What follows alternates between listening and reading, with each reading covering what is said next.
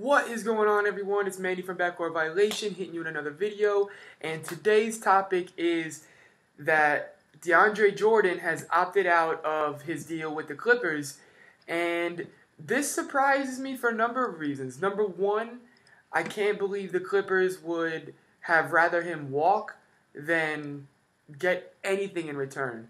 Now, I know Dallas was offering like a second round pick and either Maxi Kleber or Dorian Finney-Smith.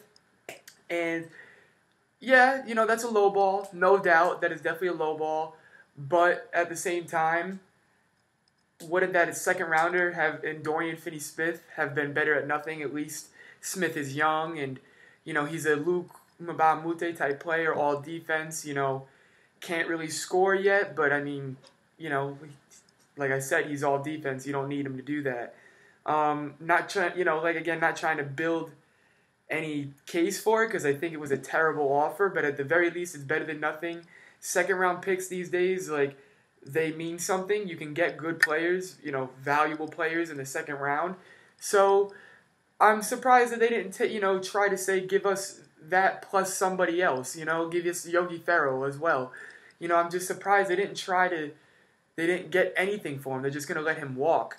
Now, obviously, this means, um, I mean, it just looks like he's going to be a Maverick. Um, the, you know, they were the only team to pretty much offer a trade for him, and they're the only team that's been linked to him since he pretty much signed there. And then, you know, we all know what happened with you know Doc Rivers and Chris Paul, like sitting him down, Blake Griffin sitting him down and locking him in the house for like 24 hours or what it was, and until he signed with them. So you know, he's always been linked to Dallas. It's probably going to happen. They just actually uh, they declined Dirk Nowitzki's option for next year. They're still going to resign him, but for less than five million, which he was supposed to make. So it, all, it opens up a little bit more wiggle room to sign him. So all points to DeAndre Jordan being a Maverick next year. You know, he again he opted out of his deal with the Clippers, which is crazy because he was going to make twenty four point one million dollars next year, and I don't know if he's going to make that per season with the Mavericks. Maybe in the first year they're like, "Hey, we'll give you 25," and then after that it's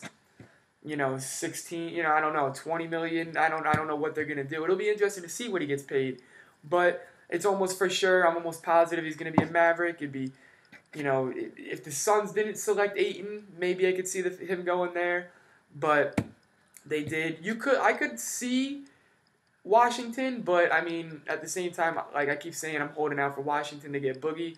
But maybe they throw their hat in there and try and get something because they need something as well either. But again, guys, uh, DeAndre Jordan opted out of his deal with the Clippers.